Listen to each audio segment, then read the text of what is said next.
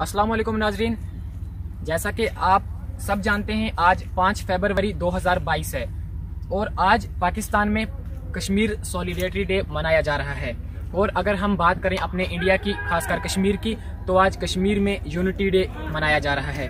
और आज इसी मौके पे कश्मीर की यूथ ने पाकिस्तान को बिल्कुल करारा जवाब देते हुए, जो कि टीठवाल वाला इलाका है जो कि एलओसी पड़ती है वहाँ पे, उसके बिल्कुल अपोजिट वाले साइड में पीओके है, यानी कि पाकिस्तान ऑक्युपाइड कश्मीर। वहाँ पे जाके यूनिटी डे सेलिब्रेट किया और पाकिस्तान को साफ़ लफ्जों में ये मैसेज दी कि कश्मीर जो है, वो पाकिस्तान को नहीं चाहता है। कश्मीर अमन, सुख, शांति चाहता है। कश्मीर टेररिज्म के खिलाफ है। आइए, हम आपको कुछ विजुअल्स दिखाते हैं टीठवाल एलओसी से। आगे आ जाओ।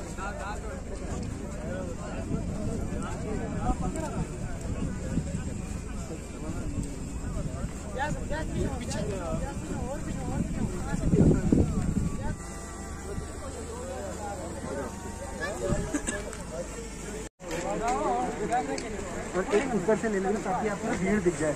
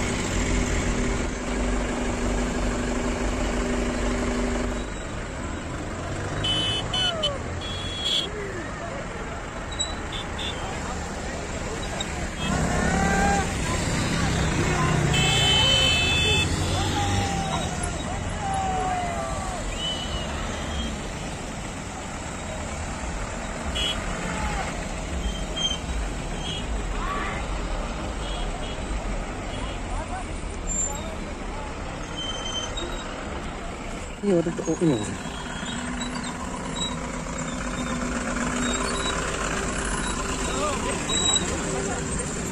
आगे आगे